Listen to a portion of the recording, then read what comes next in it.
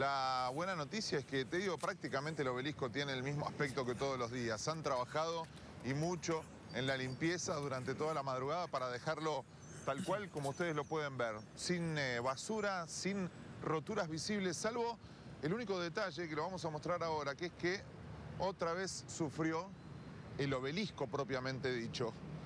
Alguien saltó la reja y allí con un aerosol escribieron River campeón de América en uno de los laterales del obelisco. Te digo que es la única marca visible de lo que fueron los festejos anoche y de lo que fueron también los incidentes cerca de la medianoche cuando un grupo se enfrentó con la policía y esto terminó con gases, con eh, balas de goma, con botellazos, con pedradas, eh, finalmente eh, con algunos detenidos también y, y, con la mancha negra que tienen en el fútbol argentino todos los festejos aquí en el obelisco. Parece mentira, ¿no?